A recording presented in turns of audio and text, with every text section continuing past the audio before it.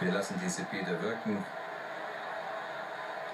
Es sieht so aus, als könne er es noch nicht so recht glauben. Das ist ja eine ganz ähnliche Situation, wie wir sie vor acht Jahren bei Josef Ratzinger erlebt haben, der ja auch sehr zurückhaltend und sehr bescheiden diesen ersten Amtsakt absolviert hat.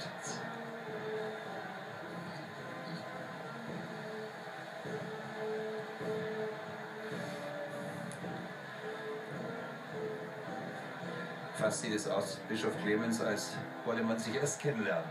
Die Menschen auf dem Petersplatz und der neue